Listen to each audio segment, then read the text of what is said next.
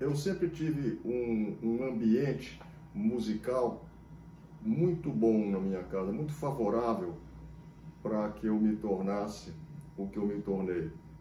Um, um, artista, um compositor, um cantor, um violonista. O meu grande dom, no, o grande dom que Deus me deu foi como pianista. Eu tinha o meu avô que passava grandes temporadas na minha casa em São Paulo e, e, era um grande professor de piano, muito bom professor de piano. E ele identificou em mim e no meu irmão Guilherme, que se tornou um grande pianista e toca divinamente bem, ele identificou que nós tínhamos muito jeito e começou a, no, a nos ensinar, a nos dar aulas com 3, 4, 5 anos. Eu me lembro que com com quatro anos, eu me lembro muito bem de tocar uma música do Assis Valente, que era aquela música de Natal, Papai Noel, e me lembro muito bem disso. Talvez a primeira música que eu me lembro de ter, de ter tocado. Meu pai tocava piano muito bem, tocava violão, uh, cantava, cantava música popular, tocava muito bem música clássica também e, e trabalhava, foi um dos fundadores, aliás, foi o cara que organizou a Rádio Eldorado, que durante muito tempo foi uma referência aqui em São Paulo. Então lá em casa também teve, sempre teve muito disco, Eu, todas as novidades o, o meu pai trazia para casa. Minha mãe também era muito musical, filha desse meu avô, que, que também que era, um, era um professor de piano clássico, também foi um excelente pianista, mas gostava também de música popular, isso também foi importante. E, e eu ouvia, outra coisa que eu acho importante também, é que meu pai sempre foi muito eclético, assim, ele ouvia, ele gostava de tudo. Meu pai tinha um repertório maravilhoso, inclusive no fim da vida ele defendeu um troco tocando piano num, num restaurante, no bar de um restaurante aqui em São Paulo. Então eu ouvi todo tipo de música, todo tipo de música. Isso eu acho super importante, música clássica, música popular brasileira, ah, tangos, ah, música francesa, música americana, ah, música italiana, todo tipo de música eu tinha lá em casa. Eu acho que isso foi muito importante para a minha formação, sem, sem ser uma coisa assim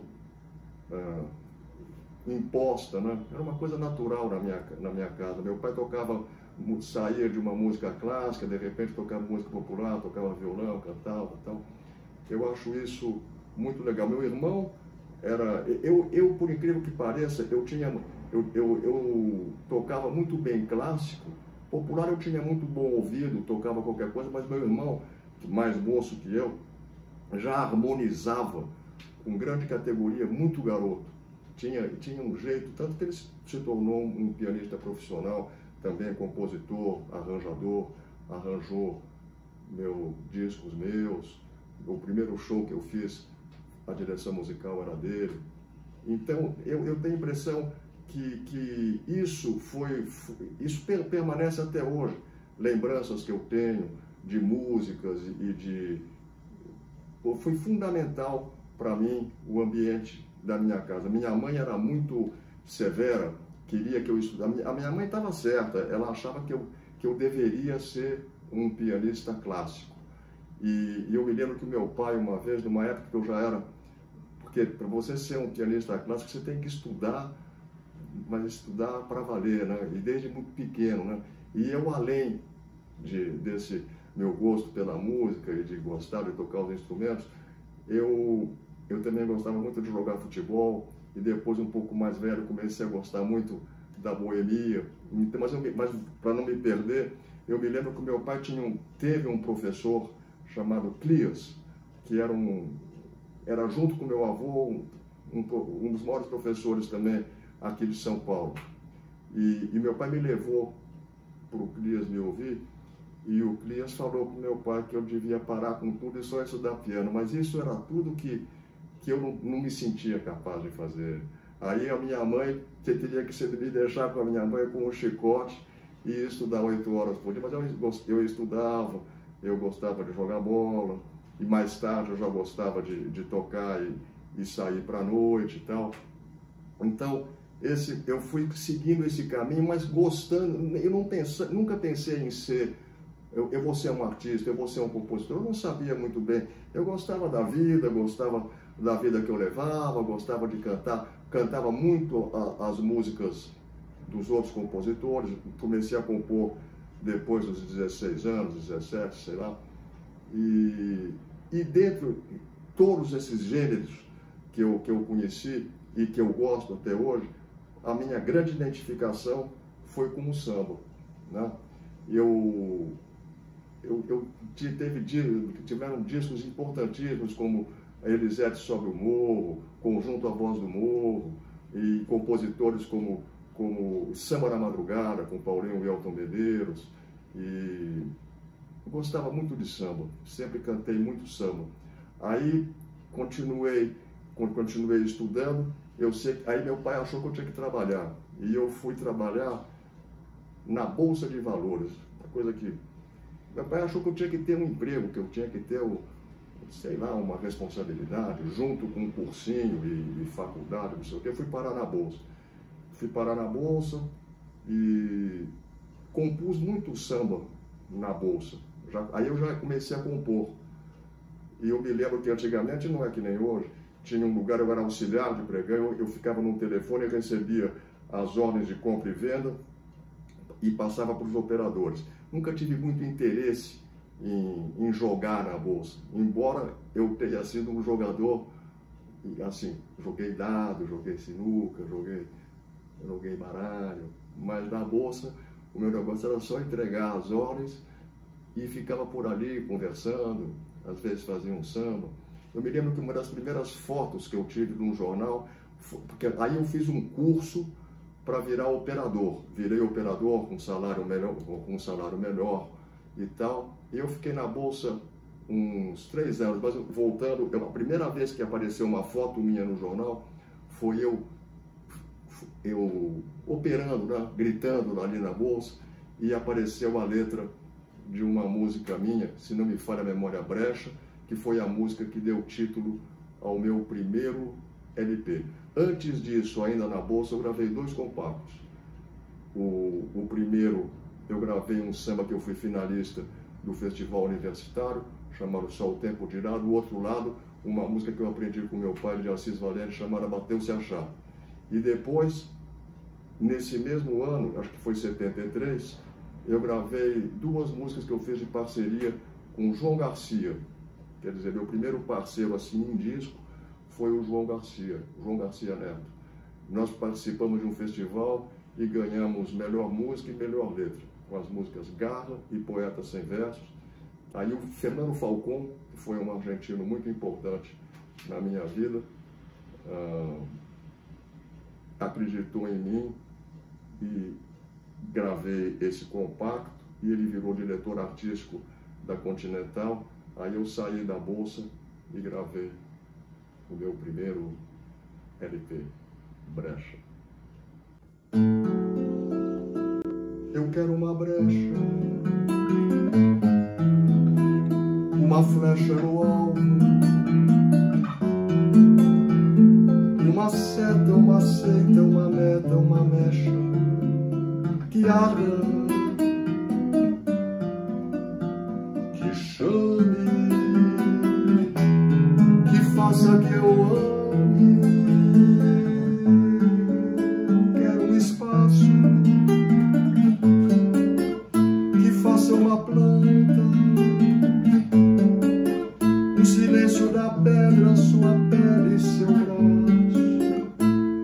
Кока-Кола жила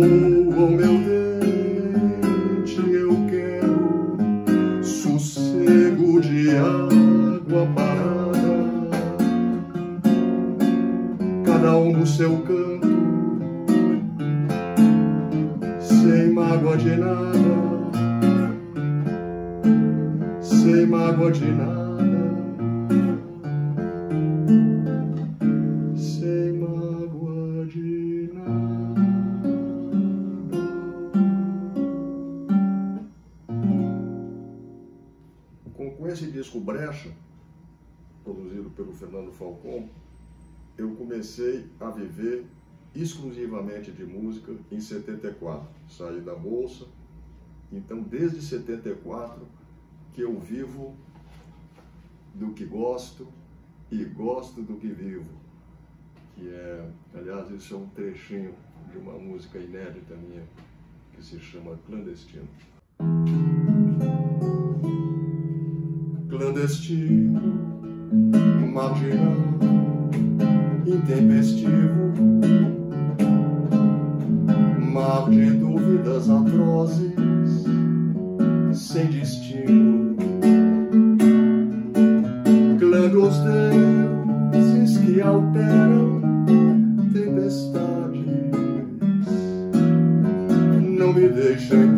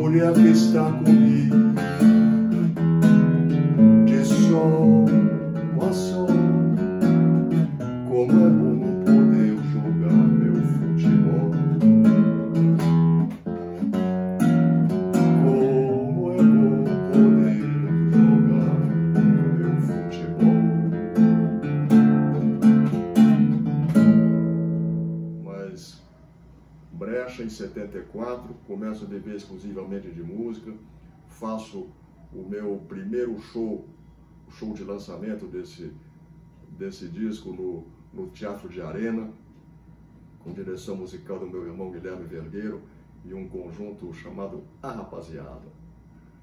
Aí depois fui cantar numa boate pela primeira vez também.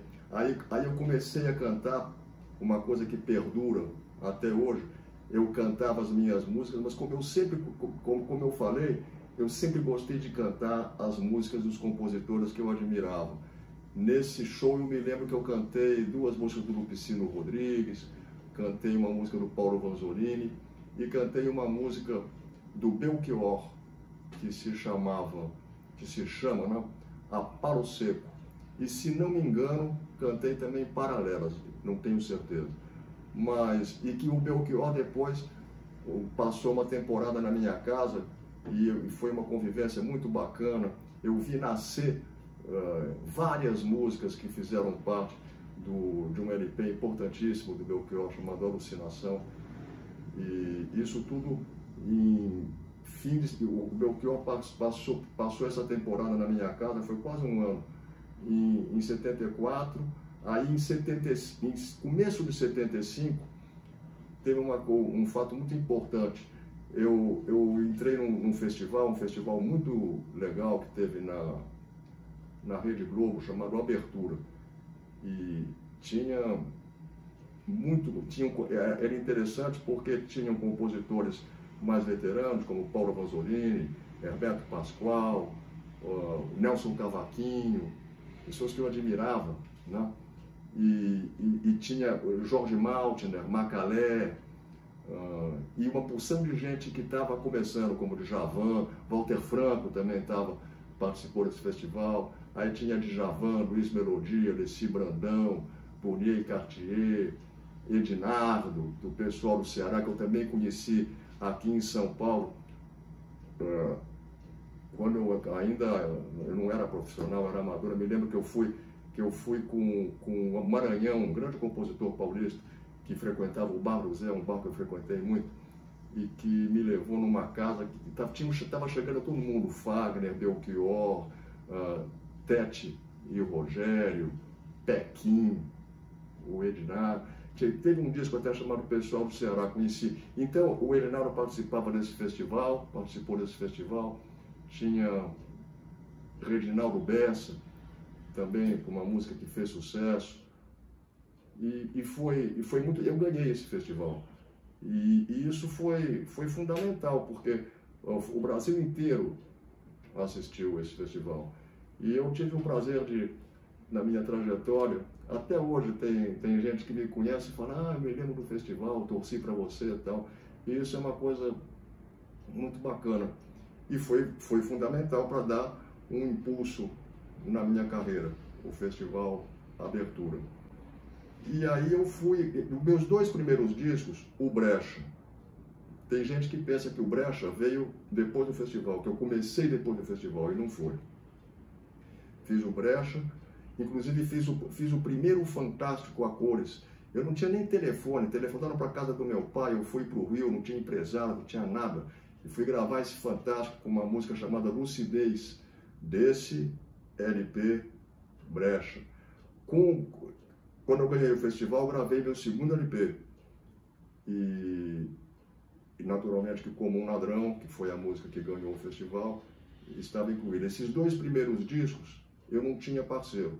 Eu fazia tudo como diria o Adoniran Barbosa, todas as músicas perguntavam, com quem você fez essa música? Eu falava, o Adoniran falava, fiz comigo mesmo. Então eu fiz tudo comigo mesmo.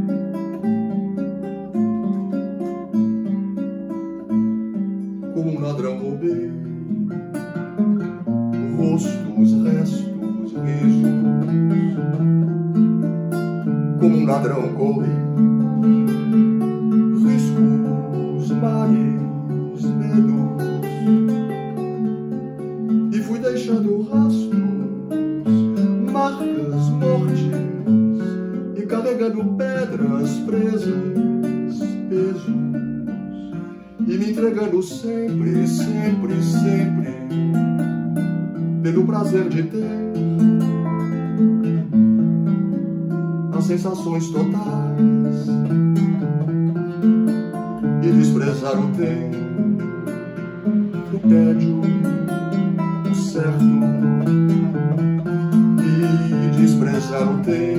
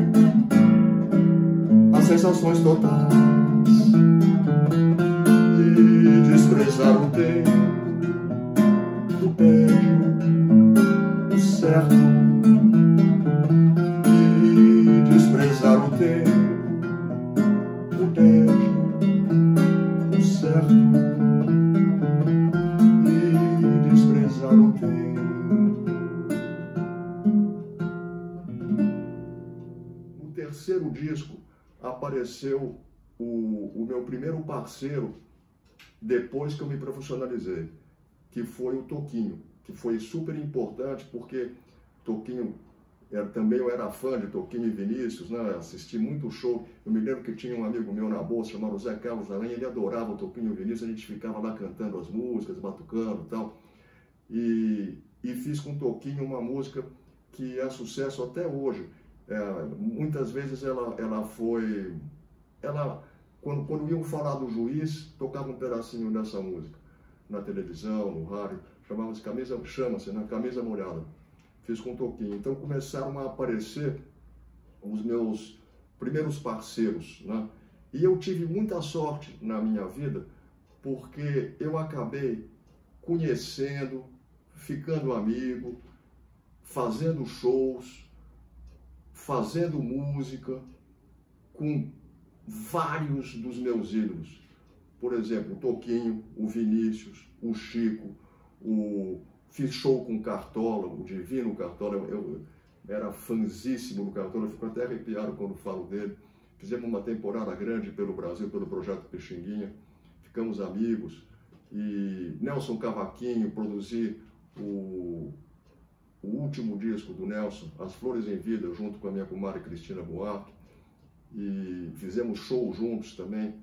E fizemos, e aí tem João Nogueira, de quem eu era fã também, fiz, ficamos amigos, fizemos shows, fizemos música. E o Chico Buarque, meu querido amigo, até hoje jogamos bola junto. Nós começamos jogando bola, nossa parceria era, era o futebol. Aí depois fizemos músicas, fizemos shows, viajamos por aí. Uh, eu conheci Elton Medeiros, uh, Nossa Senhora, a Dona Irã Barbosa. A Dona Irã Barbosa foi, foi super marcante na, na minha vida, essa convivência com a Dona Irã também. Começou com uma grande amizade, depois nós fizemos duas músicas, sendo que uma é, é uma música que me dá muito orgulho, porque toda vez que se faz um apanhado geral da, da obra da Dona Irã, essa música está sempre, tá sempre incluída. Então, isso me dá um orgulho danado. Chama-se Torresmo Milanesa. Essa música, a primeira gravação foi com Clementina de Jesus, a Dona Irã e eu. Depois repetimos a dose no disco dos 70 anos da Dona Irã, ambos os discos uh, produzidos pelo Fernando Faro. E aí não parei mais de, de ter parceiros, embora continuasse a fazer muito, a música sozinho, e conheci nesse período, no final da década de 70, 77, acho que teve a primeira música que eu fiz com, com J. Petrolino, que durante muito tempo ninguém sabia que era o pseudônimo do grande Aloysio Falcão, que, fez, que foi da Marcos Pereira e possibilitou que o Pelão gravasse o, o, o, o primeiro disco do Cartola solo, né?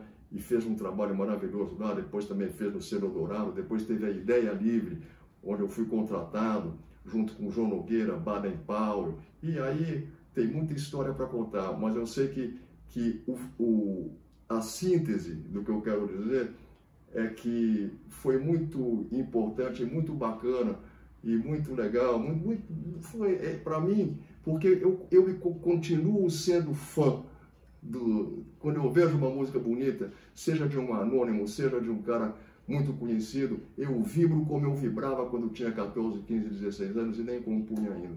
Então foi muito legal a vida ter me dado de presente, ter conhecido esses meus grandes ídolos que se tornaram meus amigos, meus parceiros e me ensinaram muito.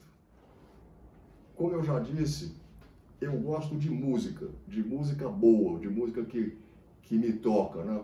Não interessa o, o ritmo, de onde é, de onde não é, mas a minha grande identificação foi com o samba. E, e perguntavam muito para mim qual era a diferença, porque como eu sou um cara que sempre vivi entre São Paulo e Rio de Janeiro, perguntavam sempre para mim qual era a diferença do samba paulista para o samba carioca. E eu, eu não sou um estudioso, né? eu sou um, sei lá o que eu sou, eu sou um peladeiro. Né? Eu, não, eu falava assim, olha, se você quiser saber isso mesmo, vocês perguntem para o Geraldo Filme de Souza, grande Geraldão Filme de Souza, outro grande amigo que eu fiz nessa vida e tive a honra de produzir o, talvez o primeiro e único LP solo do, do Geraldão. O Geraldão sabia tudo do samba de São Paulo. Aí eu, eu me saía com essa. Mas, e eu falava assim, para mim, samba é samba.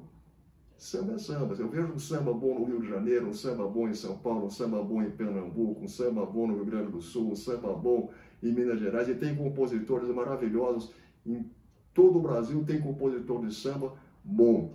Né? Então, e curiosamente, o, o Adoniran, depois que nós ficamos muito amigos, nós ficamos muito amigos mesmo de se encontrar várias vezes por semana, só para conversar, almoçar. Uh, eu, era muito interessante. Eu aprendi muito vendo, vendo o Adoniran cantar, fazer show. Né? E, e o Adoniran, curiosamente, respondeu uma vez exatamente isso. Samba é samba, ele falava. Então, os, e o samba nunca se afastou de mim, como eu digo numa música que eu fiz. Eu, é engraçado, porque os caras falam de São Paulo.